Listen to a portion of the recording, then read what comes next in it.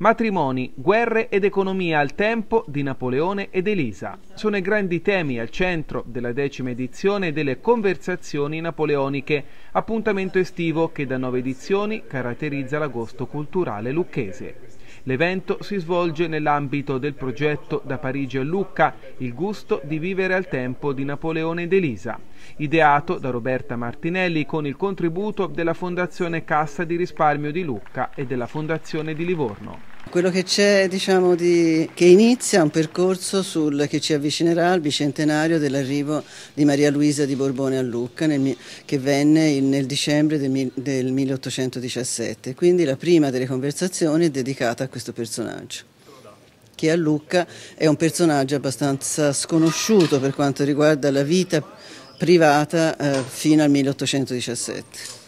Si continua poi martedì 23 con Peter X della Foundation Napoleon di Parigi che racconterà i disegni e le trame economiche e politiche di Napoleone, primo console alle prese con le casse vuote dello Stato.